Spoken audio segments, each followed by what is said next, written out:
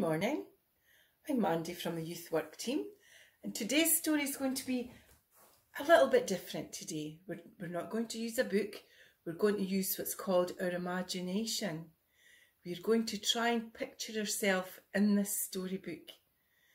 We're going to think about the smells that will happen, the things we'll see and the colours we'll see. And today's story is called Brad and his Gran.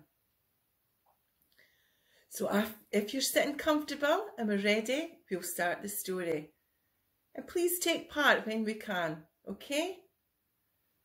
So let's start. Brad called his Gran on the phone and said, Gran, would you like to go a walk today? Gran said, of course, Brad. If you just give me two seconds, I'll just get ready. So what do you think Gran needed to put on to get ready to go a walk? That's right, she needed her jacket.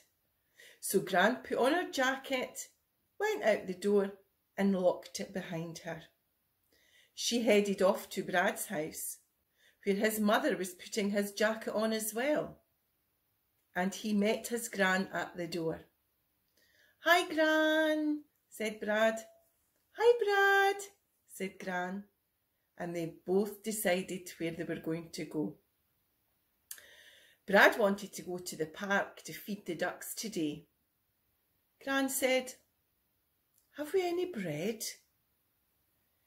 Did you ever go to feed the ducks? Do you take some bread? That's great. So Brad went back indoors and asked his mum, Mum, have we got any spare bread we can take to feed the ducks? Brad's mum said, Of course we have. I'll go and get you a little bag. So Brad's mum put some bread in a bag and Brad left with his gran, heading towards the park.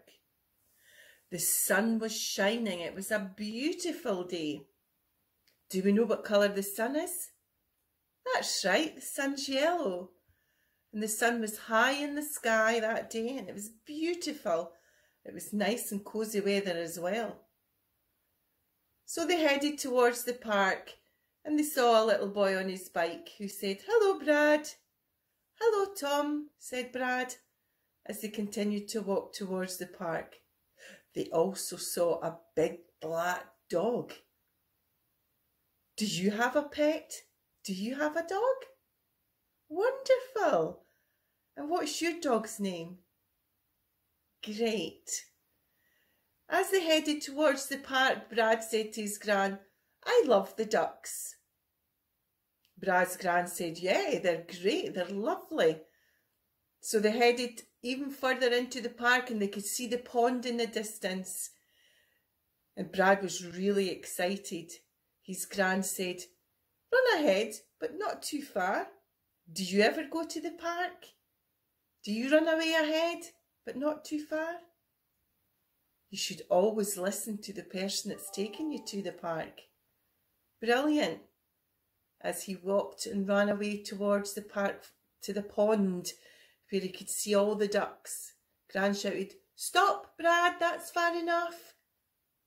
Brad stopped where he was and they waited on his Gran catching up.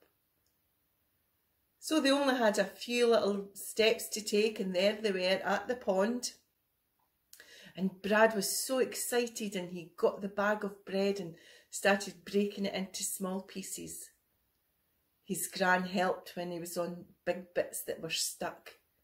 So he chucked the bread into the water and the ducks were quack, quack, quack, quack, quacking everywhere and running towards Brad and they were jumping in and out the water to try and get the bread. And Brad was so excited.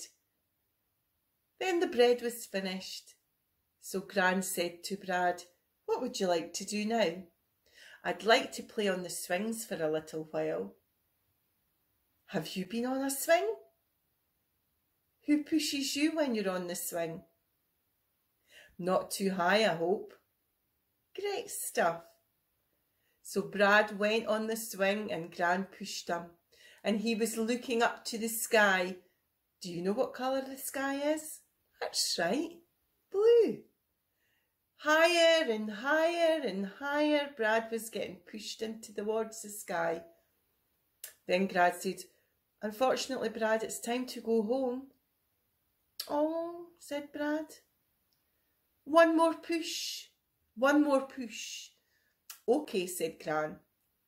Five more pushes. Can you count to five? One, two, three, four, five. That's it, Brad. Time's up, said his Gran. OK, Gran. So Gran lifted Brad out the swing and they headed home to his mother's house. So